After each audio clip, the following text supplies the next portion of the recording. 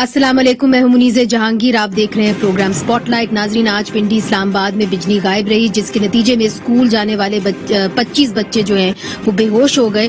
तहरीक इंसाफ के एमपीए फजल इलाही बिजली बहाल करवाने पेशावर में ग्रिड स्टेशन पहुँच गए। अब जबकि गर्मी की शिद्दत में इजाफा हो रहा है तो सियासी दर्जा हरारत भी थमने का नाम नहीं ले रहा। आज मरियम नवाज़ ने माजूल जस्टिस शौकत सदीकी के मामले पर खूब खुलकर बात की। क्या कहा? आइए आपको दिखाते हैं शौकत अज़ीज़ सदीकी को सच बोलने की सजा न दी जाए, क्योंकि आज अगर कटहरे में जस्टिस शौकत अज़ीज़ सदीकी खड़े हैं तो कल कोई भी जज जो इंसाफ करना चाहता है, कानून के रास्ते पर चलना चाहता है और इंडिपेंडेंटली फैसले करने चाहते हैं, वो सब जज कल कटहरे में खड़े होंगे। काजी फाइज ईसा साहब और शौकत अज़ीज़ सदीकी साहब का केस है। उसको अदलिया को अपने ऊपर हमला तस्वर किया जाना चाहिए। नाजरीन, याद रहे कि ये वही इस्लामाबाद हाई कोर्ट के जज शौकत सदीकी हैं जिन्होंने इलेक्शन से पहले इंकशाफ किया था। कि मुकद्दर जो बाअसर हल्के हैं, उनकी तरफ़ से दबाव डाला जा रहा है। नवाज़ शरीफ और मरियम नवाज़ की जमानत नहीं लेनी कि उनकी जमानत जो है वो नहीं लेनी। इसके बाद अक्टूबर 2018 में सुप्रीम जुडिशल काउंसिल ने उन्हें बरतरफ कर दिया था, अगर आपको याद हो, और इस फैसले के खिलाफ वो सुप्रीम कोर्ट में गए भी थे, पर ढाई साल तक इनकी कोई भी सुनवाई नहीं हुई। हाल ही में ज़ोर लगाने के बाद इनके केस की समाज शुरू हुई है चूँकि जल्द ये जो है रिटायर कर रहे हैं।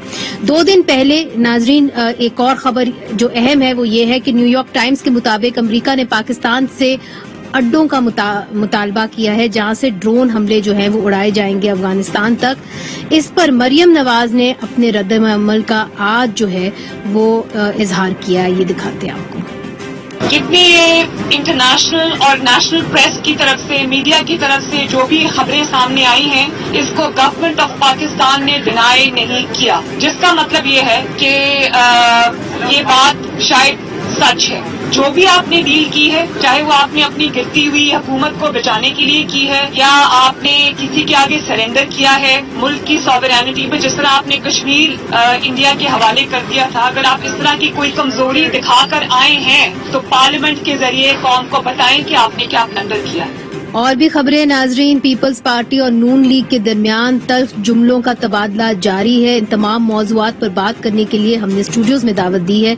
सेनेटर एजाज चौधरी को, जिनका ताल्लुक पाकिस्तान तरीके इंसाफ से है, वो सेनेट की नारकोटिक्स कंट्रोल कमेटी के चेयरपर्सन है। बहुत बहुत शुक्रिया हमें ज्वाइन करने का। सेनेटर शहादत इवान साहब हमें ज्वाइन कर रहे हैं। उनका ताल्लुक पाकिस्तान पीपल्स पार्टी से है। वो सेनेट की इंसानी हकूक और दाखिला कमेटी के मेंबर हैं।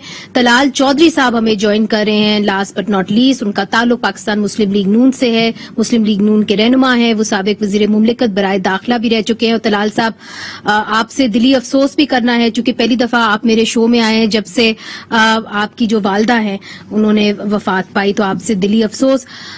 सबसे पहले आपसे स्टार्ट करती हूँ। ये जो खबर आई है न्यूयॉर्क टाइम्स की, ये काफ़ी तफसीली खबर है। इसके अंदर ये बताया गया है कि जो सीआईए के चीफ हैं वो पाकिस्तान आए, उन्होंने हमारी अस्करी की आदत से मुलाकात की और उन्होंने ये बताया कि जी, हमें ड्रोन हमलों के लिए यहाँ पे अड्डे ठिकाने चाहिए। जिसके ऊपर हमारा आपस में कोई एक अग्रीमेंट भी हुआ और ये कहा गया कि जी ठीक है, हम ठिकाने देंगे या नहीं देंगे, मगर जो भी हम देंगे, उसके अंदर जो टारगेट आप करेंगे, उसके ऊपर हमारे दस्तखत जो है, यानी पाकिस्तान के दस्तखत जो हैं, वो ज़रूरी होंगे। यहाँ तक ये खबर है।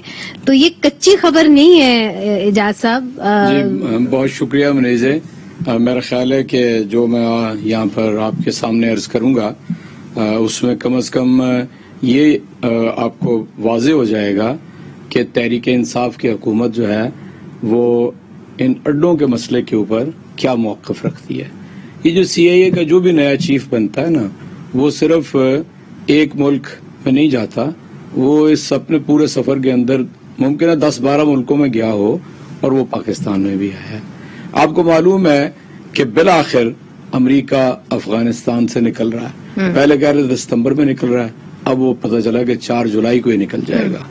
चुनाचे उन्हें इस बात का ख्याल तो है कि वो एकदम निकलेंगे तो उनका सरूसूख भी खत्म हो जाएगा। तो वो तलाश कर रहे हैं मतलब ऐसे ममालिक कि जिनके अंदर वो जो आपने बात की है वो ये कर सकें। लेकिन पाकिस्तान बिल्कुल क्लियर है। अच्छा। किसी सूरत में भी कोई ड्रोन यानी कोई अड्डा कोई ऐसी चीज़ जो है अ, यानी इंशाल्लाह अज़ीज़ ना है ना इसका कोई इम्कान है सिर्फ़ मगर देखिए एजाज चौधरी साहब देखिए ये भी लिखा गया कि US national security adviser Jake Sullivan in response to a question about the US seeking a drone base in Pakistan said we have had constructive discussions in the military intelligence and diplomatic channels with Pakistan about the future of capabilities to ensure that Afghanistan never again becomes a base from which Al Qaeda rises or any other terrorist group can attack the United States. तो यहाँ तक मैं आपको बात हुई, उन्होंने नाम दिए होती है ना। जी उन्होंने उन्होंने कहा जी फॉरेन मिनिस्टर शाह महमूद कुरैशी से अ, मुलाकात हुई है secretary of state Antony Blinken की जो हुई भी मोइद यूसुफ साहब के साथ हुई है जो हुई जेक सुलेवन के अ, हुई है जनरल बाजवा के साथ हुई है डिफेंस सेक्रेटरी लॉयड ऑस्टन की हुई है ये तमाम नाम उन्होंने दिए हैं नहीं मेरा ख्याल है इसमें कोई यानी छुपी हुई बात है नहीं ये. खुली बात है. ये सारी मुलाकातें हुई हैं आर्मी चीफ से हुई हैं वही यूसुफ से हुई हैं वज़ीर खारजा से हुई हैं लेकिन कंसिस्टेंटली तहरीक इंसाफ की हुकूमत का मौकफ एक है Right. कि किसी दर्जे में कोई अड्डा यहाँ पर नहीं होगा। ज़ाहिर है कि हम ये तो नहीं चाहते कि अमेरिका के साथ एक नई कोई महाजराई हम खोल दें। ये पाकिस्तान के मफाद में नहीं है। चुनाचे बात का जवाब उसी तरह ही दिया जाता है जिस तरह बैन अवी तौर पर दिया जाना चाहिए। लेकिन इसमें कतयत के साथ मैं आपसे अर्ज़ कर रहा हूँ किसी दर्जे में भी। मिसाल के तौर पे अगर कोई उनके साथ हमारा मामला होगा तो वो मामला सिर्फ़ यानी ये नहीं होगा कि डिफेंस के अंदर कोई हमें वो वो करेंगे। वो जो बाकी दुनिया के अंदर ट्रेड, इन्वेस्टमेंट, कॉमर्स, सारी चीज़ें उनके साथ डिस्कस होंगी। और मैं समझता हूँ कि ये तो पाकिस्तान का क्रेडिट है कि अमेरिका अब डू मोर नहीं कहेगा। तो इस पोजीशन में तलाल चौधरी साहब चूँकि सेक्रेटरी ऑफ़ स्टेट रह चुके हैं इंटीरियर के हम कोशिश करेंगे उनको हम फ़ोन पे लेने की फ़ोन पे लेने की प्लीज़ कोशिश करिए उनको। क्योंकि ये बात भी जानना ज़रूरी है कि माजी के अंदर तो हमने अड्डे दिए हैं। और बाद में ये मुआदे जो हैं ये सामने आए हैं। शादत साहब चूँकि आपका लीगल बैकग्राउंड है ये सवाल मैं आपसे पूछूँगी कि देखिए एक तो लीगली इसको कैसे देखेंगे आप? और दूसरा ये है कि ये जो इन्होंने मुख्त किए हैं पैसे और कांग्रेस से मांगे हैं स्टेट डिपार्टमेंट ने 324 मिलियन डॉलर उन्होंने मांगे हैं और ये तमाम साउथ एंड सेंट्रल एशिया के लिए मांगे हैं। तो इसके अंदर इन्होंने खास बात बताई है कि जी फिर से मिलिट्री इंगेजमेंट होने जा रही है। फिर अ, 2019 के अंदर अमेरिका ने जो सस्पेंड की हुई थी एड एफ़ सिक्सटीन एयरक्राफ्ट के हवाले से उन्होंने वो 125 मिलियन पाकिस्तान को दी। There is no free lunch in the world of diplomacy तो ये फिर पैसे क्यों मुख्त किए जा रहे हैं? पहली बात तो मैं आपको मैडम ये बात अर्ज़ करूँगा कि पाकिस्तान एक खुद मुख्तार मुल्क है। और हमारी जो भी खारजा पॉलिसी, पहली बात तो ये होनी चाहिए उसमें पार्लियामेंटेरियंस के साथ बैठ के हमारी गवर्नमेंट को कोई अपनी फॉरेन पॉलिसी चाक आउट करनी चाहिए। जितने अवामी नुमाइंदगान हैं, जो कि अवाम पाकिस्तान की नुमाइंदगी करते हैं, उनको एतमाद में लेना चाहिए। जो हमारे सराउंड के खत्े के हालात हैं, मैं ये समझता हूँ कि पाकिस्तान इस चीज़ का मुतमिल नहीं हो सकता कि हम किसी दूसरे की लड़ाई जो है अपने मुल्क में लड़ें।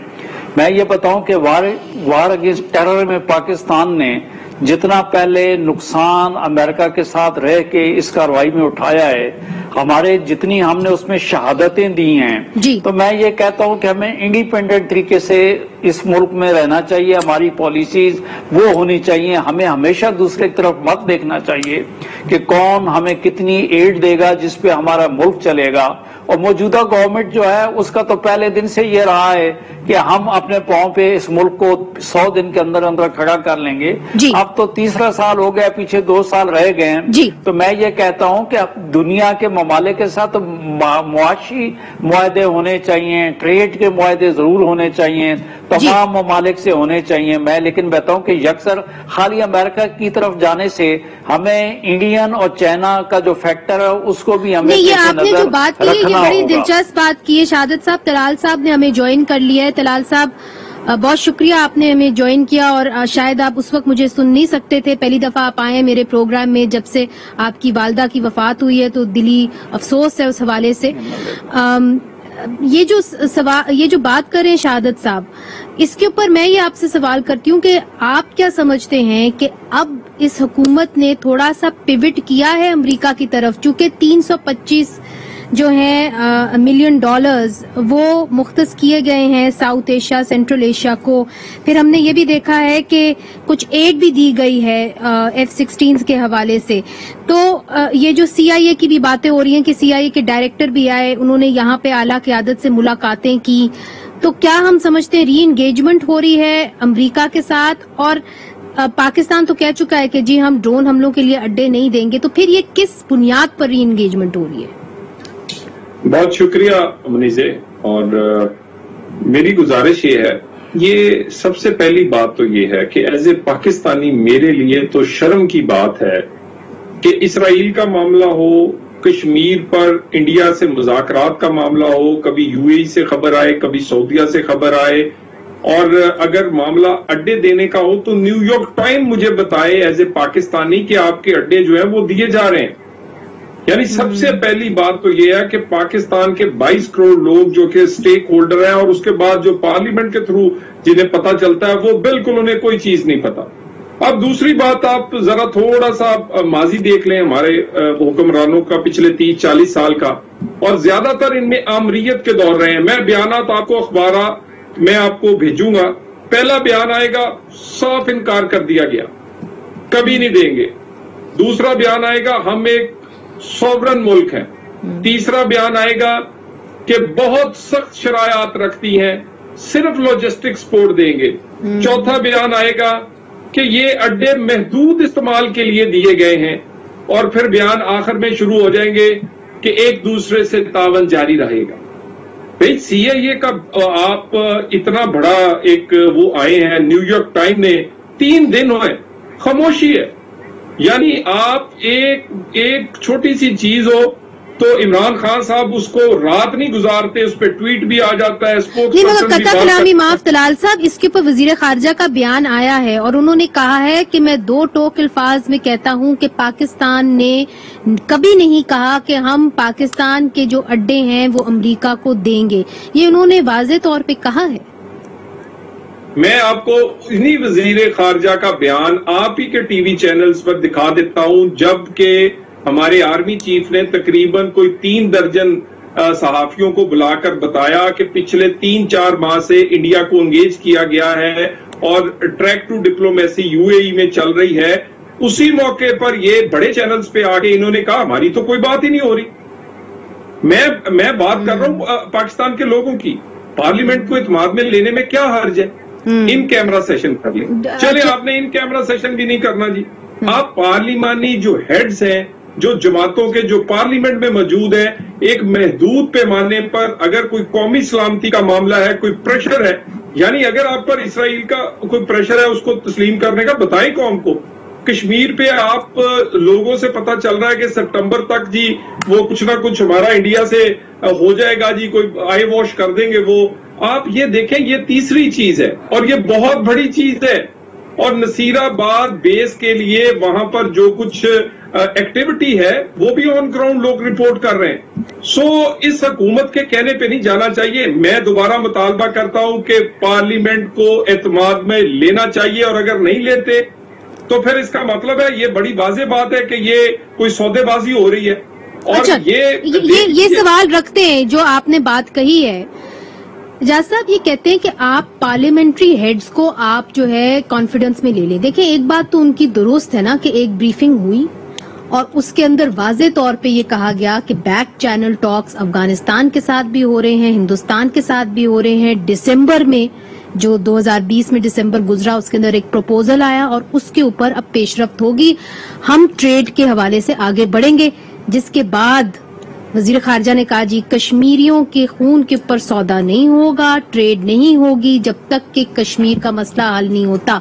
सो वेर आर वी अच्छा बारी बारी आप बात, बात सुन लीजिए। पहली बात तो ये कि वज़ीर खारजा ने नेशनल असम्बली में और सेनेट में। मेरा ख्याल है कि मैं और अपना शहादत अवान साहब उस दिन इजलास में मौजूद थे और वज़ीर खारजा आए। Categorically hmm. उन्होंने ये कहा कि अमेरिका के किसी दर्जे में कोई अड्डा यहाँ पर ना इसके ऊपर यानी हम सोच रहे हैं और ना इसके ऊपर कोई वो तो कह दिया।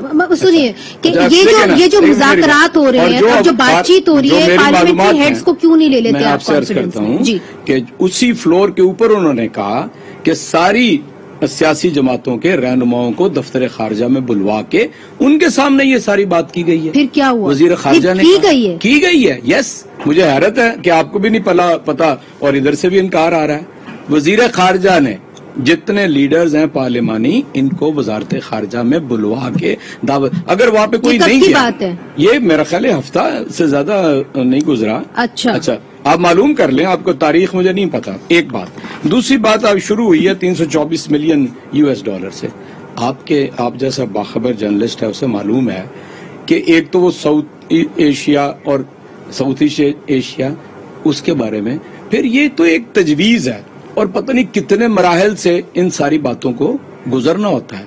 ना हमारी डिमांड है तहरीक इंसाफ और वज़ीर आज़म ने जाके अमरीका के अंदर खुल के कहा था कि हम कोई यहाँ से एड लेने नहीं आए अमेरिका से मगर aid तो मिली इतनी। वजा देखें मैं हाँ, आपसे एक बात अर्ज़ हाँ। करता हूँ कोई एड नहीं मिली नहीं मिली ना ये देखिए ना 125 मिलियन डॉलर्स मिले जुलाई 2019 में देखिए ना जो ये तो टेक्निकल सपोर्ट के लिए तो- थे एफ़ सिक्सटीन ये तो वो मुआदे हैं कि जो हाँ। माजी की हुकूमतों ने किए नहीं नहीं ये जब वज़ीर आज़म इमरान खान गए थे वॉशिंगटन उसके बाद अर्ज़ करता हूँ ना ये एफ़ सिक्सटीन के जितने भी चीज़ें हैं अच्छा। वो बहुत पहले से तय है ठीक है और ये जो एक स्टेल बेट था यानी अगर वो दोबारा वैसे ये पहले से तय नहीं था। तय था ऑफ़ कोर्स तय था आप इसका मालूम कर लें। हमने मालूम किया जी। एफ़ सिक्सटीन के बारे में जितने भी ये ये हैं ये हमारी हुकूमत के नहीं है। फिर मैं आपसे एक और बात अर्ज़ करता हूँ। तहरीक इंसाफ की हुकूमत तो है ना ढाई पौने तीन बरस से। उससे पहले पीपल्स पार्टी और नून लीग की हुकूमतें रही हैं या मार्शल लाई जर्नैलों की हुकूमतें रही। कौन यानी अमेरिका के बूट चाटता रहा है? यानी हम तो बिल्कुल वाजे हैं। इसलिए बिल्कुल क्लियर रहें कि हम जो कुछ कहेंगे कौम को इतमाद में लेके कहेंगे। यानी ऐसा नहीं होगा कि आज तक एक बयान अगर आप इसराइल पे नवाज़ शरीफ का बिता दें फलस्तीनियों के हक में तो मैं आपसे ये तलाल साहब से पूछ बयान, लेते नॉट अ सिंगल बयान। तलाल- पूछा ना ना अभी मेरी बात नहीं मुकम्मल हुई। कश्मीर के ऊपर देखें गुफ्तगुएँ बेशुमार जगहों के ऊपर होती हैं। क्लैरिटी क्या है वज़ीर खारजा ने भी क्लियर कर दिया प्राइम मिनिस्टर ने भी क्लियर कहा। और ये कहा कि पाँच अगस्त की पोजीशन पे अगर भारत नहीं जाता तो हम कश्मीरियों के खून से गद्दारी होगी। बिट्रेल होगा। इसके ऊपर क्लियर कर दीजिए। मैं- साहब ये बड़ी ज़रूरी बात जो आपने की है। क्या? इसका मतलब ये है कि आर्टिकल 370 ठीक है? उसको ये रिवोक कर दें। जी। ये यही आप कह रहे हैं? है पाँच अगस्त की पोजीशन वही थी ना? ठीक है। तो ये प्राइम मिनिस्टर ने कहा है वेरी कैटेगोरिकली आपके इल्म में नहीं है। आपके इल्म में होना चाहिए। नहीं इल्म में बल्कि तो यहाँ पर मगर यहाँ प्राइम मिनिस्टर ने तो ये कहा मगर देखिए अगर हम देखिए जो बैकग्राउंड ब्रीफिंग्स हुई उसमें ये नहीं कहा गया। देखें बैकग्राउंड में तो जी बहुत सारी चीज़ें चलती हैं। बिल आखिर तो चीफ एग्जेक्टिव गवर्नमेंट का और पाकिस्तान का प्राइम मिनिस्टर है ना असल जिसकी पॉलिसी बयान के ऊपर ही सब सब चीज़ें चलनी है। तो वो बिल्कुल वाजे हैं। उन्होंने ट्रेड के हवाले चैनल टॉक्स हो रहे हैं वो फिर किस जुमरे में हो रहे हैं? मैं आपसे अर्ज़ करता हूँ। कोई टॉक्स इस तरह के रेगुलर नहीं हो रहा है।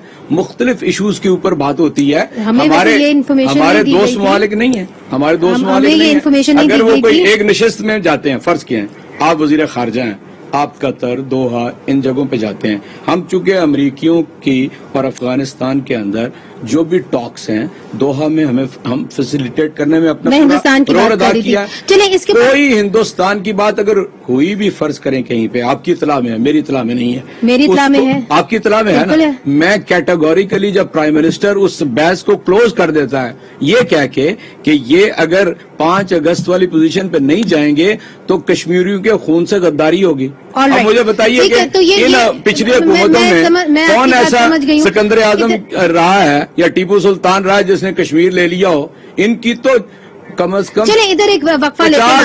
50 इजाज साहब, साल से। वक्फा लेते आप फिर तो हैं ना, 50 बाकी- साल से बाकी भी बातें करनी है वक्फा लीजिए जी एजाज चौधरी साहब ये कह रहे हैं कि वज़ीर आज़म साहब वाजे तौर पे कह चुके हैं कि जब तक कश्मीर को पाँच अगस्त की पोजीशन के ऊपर नहीं लाएँगे तब तक हिंदुस्तान के साथ जो मुजाकरात हैं वज़ीर आज़म कहते हैं आगे नहीं बढ़ सकते वक्फा लेते हैं वक्फे के बाद हाजिर होते हैं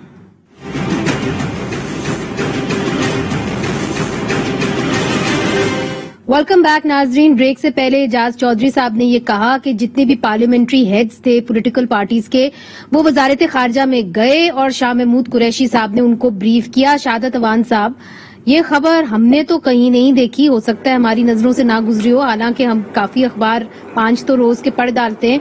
तो आपकी पार्टी वालों ने, आपके पार्टी हेड्स ने आपको नहीं बताया कि उनको ब्रीफिंग मिली है शाह महमूद कुरैशी वजारत खारजा से? देखें मैं मुनिजे मेरा कहना ये है कि ये कौमी नोयत का एक इशू है।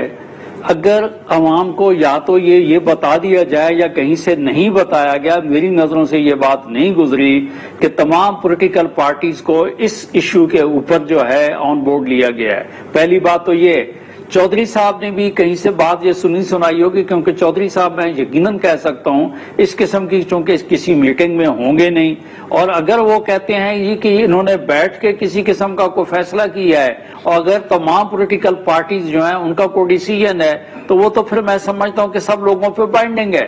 क्योंकि हुकूमती पार्टी अगर अपोजिशन के दोस्त जो नैनी मसली कोई स्टैंड लेते हैं तो यकीनन वो मुल्क के बेहतर मफाद में होगा हम्म। लेकिन अब बात यह है कि प्राइम मिनिस्टर साहब एक तरफ़ तो ये डेली अपना ये स्टेटमेंट दे रहे हैं हम्म। कि जनाब ये हो ही नहीं सकता इस किस्म की सूरत हाल हो लेकिन बाहर के न्यूज़ पेपर्स और जिस तरीके से ये ये ये, ये जो आपकी बात है ये तो दुरुस्त है तलाल साहब चूँकि आप इंटीरियर की संभाल चुके हैं इस मिनिस्ट्री को आप एक तरीके से संभाल चुके हैं मुझे ये बताइए कि जो इंगेजमेंट आप देख रहे हैं और जिस लेवल की इंगेजमेंट आप देख रहे हैं, आपकी अपनी क्या असेसमेंट है? इनखला होने जा रहा है, अमेरिकन ट्रूप्स का अफ़गानिस्तान से ज़ाहिर है, उनको यहाँ पे स्पाई करने के लिए या एक चेक रखने के लिए अफ़गानिस्तान के ऊपर कुछ ना कुछ तो चाहिए। किस तरफ़ जा रहे हैं देखिए, एक तो एजाज चौधरी साहब को मैं थोड़ा सा याद करवा दूँ कि एटमी धमाके भी इसी मुल्क में एक वज़ीर आज़म ने किए थे और सिर्फ़ सीआईए चीफ नहीं मिलने आया था, बल्कि वो जो उस वक्त के अमेरिकन प्रेसिडेंट थे, उसकी इंटरनेशनल जो मीडिया ने जो स्टोरीज की हैं, जो किताबें छपी हैं, अगर वो देख लें तो। सो, प्रेशर जो है, उसके बाद भी प्रेशर आया फिर हमारी हुकूमत के दौरान। और मुनिजा मैं ये मैंने ये फैक्ट, ये मैंने बात ऑन रिकॉर्ड रखी है। और ये ये है हकीकत है मैं इसकी आपको निटी ग्रिटीज और डिटेल्स बता सकता हूँ। यमन वाले मामले पे हाँ। मियाँ नवाज़ शरीफ पर सऊदी अरब का जो प्रेशर था उनके जाति तल्लक के हवाले से उन्होंने अपना जाति तल्लक हमने अपना सियासी आ, आ, क्या कहते नुकसान किया। मगर कौमी मुफाद में हम फ़ौरन ज्वाइंट एक हाउस में लेकर आए और अगर और फौज हमने नहीं भेजी।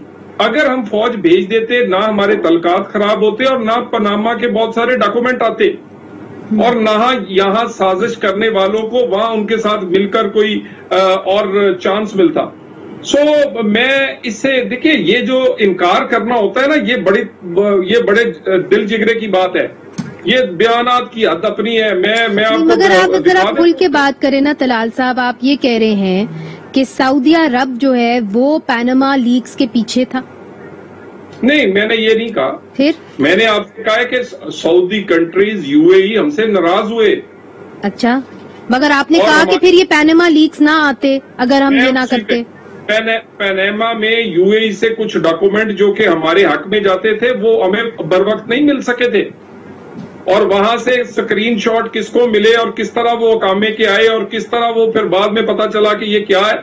मैं आपको ये बड़ी ये सारे लोगों को स्टोरी पर, लेकिन ये बड़े दिल जिगरे की बात होती है। ये कह देना, मुझे ये बताइए, कश्मीर वाले मामले पे मुझे वो फुटेज अभी तक मेरे जेन में घूमती है। इमरान खान साहब ने वर्ल्ड कप के बाद सबसे बड़ा जश्न मनाया था जब अमेरिका से वापस आए थे, कि कश्मीर का वर्ल्ड कप मैं जीत कर आया हूँ। छह महीने बाद पता चला था कि कौन सा वर्ल्ड कप था जी। अच्छा ये जो आपने बात कही है ये बड़ी अहम है। देखिए इसके ऊपर ना जजमेंट कॉल है कि उस वक्त बाकी में मुझे याद है सुबह के दो बजे वज़ीर आज़म वापस आए तो फूलों की आप लोग सब गए उन्होंने फूल बरसाए। फिर उसके बाद पता चला कि अमेरिका ने जो है वो मोदी सरकार का साथ दिया और कश्मीर के अंदर मुकम्मल तौर पर कर्फ्यू लग गया।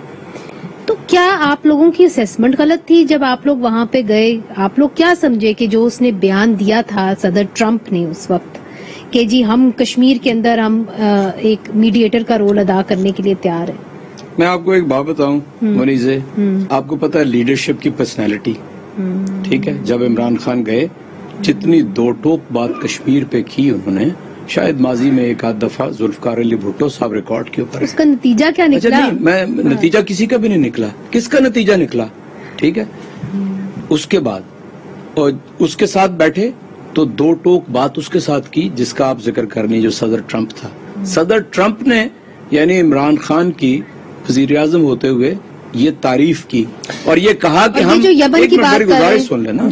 कि उसने ये कहा कि हम कश्मीर का तनाजा हल कराने के लिए अपना रोल अदा करेंगे। किस हमने नहीं कहा किसने कहा? और उन्होंने। किया। और अगर वो और उन्होंने किया अगर वो बैकआउट बैक अगर अगर वो बैकआउट कर गया अपनी बात से तो उसमें बैकआउट नहीं करा वजीर- था। बैकआउट कर गया। वो वो त- बड़े तरीके से वो बड़े तरीके से ये तो ये तो आपकी है देखिए ना। वो बड़े तरीके नहीं आप आप मुझे बताइए इवेंट्स देखिए आप तो उसी को तो चेंज नहीं कर मैं नहीं चेंज कर रहा। हाँ, हाँ। मैं तो वो फैक्ट्स आपके सकते। सामने नरेट कर रहा हूँ जो इमरान खान ने कश्मीर के ऊपर बातचीत दैट्स हाउ यू सी मगर जो ये बात कर रहे हैं तलाल साहब और ये कहते हैं कि जी यमन के ऊपर जो हम रेजोल्यूशन लेके आए कि जी हम अपनी फौज नहीं भेजेंगे यमन में उसके नतीजे के अंदर हमें उसका खमियाजा भुगतना पड़ा। देखिए मैं आपसे अर्ज़ करता हूँ पनामा केस किस तरह सामने आया, मेरा ख्याल आपको भी याद होगा कि दुनिया में एक कंसोर्शियम है जर्नलिस्ट का। उन्होंने वो सारा कुछ लीक किया। उसमें जी यमन और सऊदी अरब और खलीज कहाँ से आ गए? वो ये कहते हैं ना कि हमें वहाँ पे जो कागजात थे यूएई में जो हमें मिलने थे तो वो में बनवाए हुए थे इन्होंने। इनके सारे लीडरों के किसी के चपरासी के किसी के तो मैनेजर आपको नहीं लगता कि कोई भी फ़र्क पड़ा उस डिसीज़न मैं आपसे अर्ज़ करता हूँ मैं मैं तो इसके ऊपर बहस ही नहीं करता। मैं तो पनामा में बात कर रहा हूँ और ये कह रहा हूँ कि अभी हुकूमत में तहरीक इंसाफ नहीं थी तो हमारा मौकफ था कि भाई हमारा रोल पाकिस्तान का मुल्कों के दरमियान है। आपको पता है यमन के पस मंजर में कौन से मुल्क हैं? आपको पता है सऊदी अरब के साथ कौन से मुल्क हैं? हमारा पाकिस्तान का रोल ऐसा होना चाहिए कि इनके दरमियान हम कोई सुलहजू तो होने का रोल अदा वही पॉइंट ऑफ़ व्यू जो थी वो नवाज़ शरीफ हुकूमत की भी थी। नाजरीन वक्फा लेते हैं शादत साहब आपकी जानब भी आना है। फिर हमने जो जस्टिस शौकत सदीकी उसके ऊपर भी बात करनी है। वक्फा लेते हैं वक्फे के बाद फिर से हाजिर होते हैं।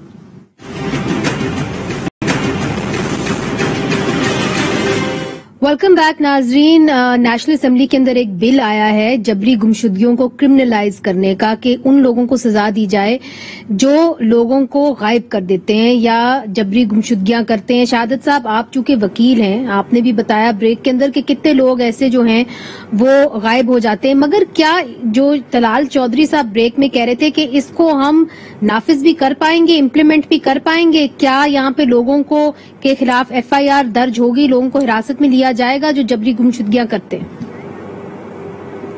मुनज़ बात यह है कि कवानीन अठारह सौ अड़सठ से मौजूद हैं कि किसी को नाजायज हिरासत में न को आवाम का बंदा रख सकता है, न को अदारा रख सकता है, न कोई कोई भी लॉ इन्फोर्समेंट एजेंसी नहीं रख सकती है। आप अमूमन देखती हैं कि अगर कोई पुलिस वाला किसी को पकड़ के छह घंटे लॉकअप में रखता है तो मजिस्ट्रेट छापा भी मारता है एफ़ आई आर भी हो जाती है।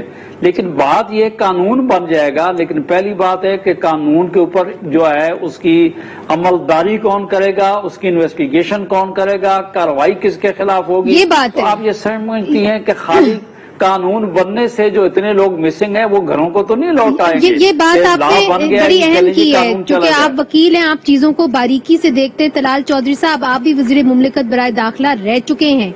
जो शहादत साहब कह रहे हैं कि इसकी इन्वेस्टिगेशन कौन करेगा, पकड़ेगा कौन is that what it is कि रियली ये कानून तो बन जाएगा, अमल दरामद नहीं हो पाएगा इस पे। देखिए, मैं शहादत साहब की बात से इतफाक करता हूँ और मैं आपको दोबारा कहता हूँ, ये एक ऐसा इशू है जिसपे तमाम पार्टीज़ और उसके बाद जितने अदारे हमारे स्टेक होल्डर हैं, इन कैमराइज में बैठकर खुल के बात होनी चाहिए। और मैं इसके, इससे पहले जो ये एक कमीशन है, लापता अफराद का वो आपको याद है बना था।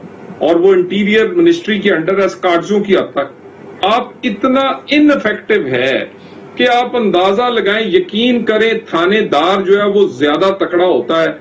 अगर किसी को बाजियाब करवाना हो तो ये जो कमीशन का चेयरमैन है उससे भी ज़्यादा इनफेक्टिव है। और वो और ये बात शहादत साहब की ठीक है नीयतों का मामला है। उसके पास बेशुमार इख्तियार है।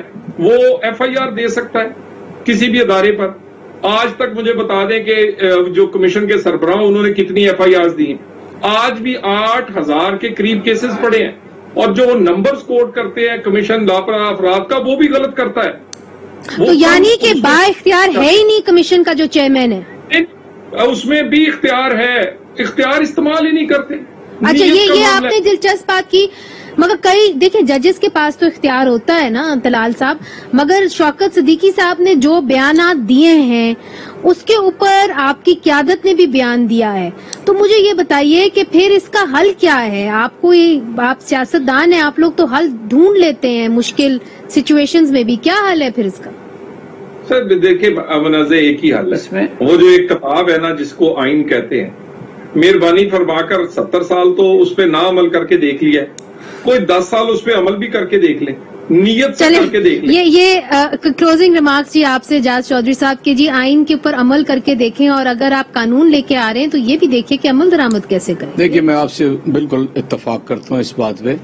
जब तक पॉलिटिकल विल इस तरह के इशू के ऊपर not the only the government बल्कि टोटल पॉलिटिकल एरेना अगर वो पॉलिटिकल विल रखे और एक दूसरे की टांग न खेचे जो कि हमारे यहाँ अपोजिशन का यही पूरा रिकॉर्ड आप देख लीजिए। तो मैं समझता हूँ कि इसका डोल डालना चाहिए। वरना हैं कि कानून तो बता आपके सामने बता तो रहे हैं कि इतने हज़ार केस हैं और कमीशन भी मौजूद है और वो एफआईआर भी दर्ज करा सकता है और वो कभी करता नहीं है। चुनाचे इसके पीछे पॉलिटिकल विल की ज़रूरत है। हमें तो आए हुए ढाई बरस हो गए हैं ये मुफ्कुदुल खबर लोग तो पचास साल से हैं इन कैमरा तो वो कहते हैं सेशन करें मैं मैं अर्ज़ करता हूँ जो भी यानी इकदाम करना पड़ेगा जो आइन और पा, पार्लियामेंट की रवायत के मुताबिक होगा मैं तो समझता हूँ होना चाहिए। इन कैमरा सेशन आपको होना या- चाहिए? आपको शायद याद इन कैमरा हो जाए आपको याद नहीं है इसी डी चौक में लाहौर के माल रोड के ऊपर अमना मसूद जंजुआ साहब के साथ मुझे 20 साल हो गए खड़े होके एहतजाज करते हुए इसलिए ये मुझे तो इसके बहुत एहसास बहुत सारी बीवियाँ सिंबल के तौर पे उनका नाम लिया वो माँ भी है और बीवी भी है कि ये ऐसा नहीं हो सका। आज भी अगर इसके पीछे आ जाए बैठ जाए इन कैमरा बैठ जाए सारी बात हो सकती है। आपकी पार्टी जो है इनका साथ देगी इन कैमरा सेशन के अंदर आप लोग बैठेंगे आप लोग नेशनल देखें असेंबली में पहली पहली पहली पहली मैं पहली मैं गुजारिश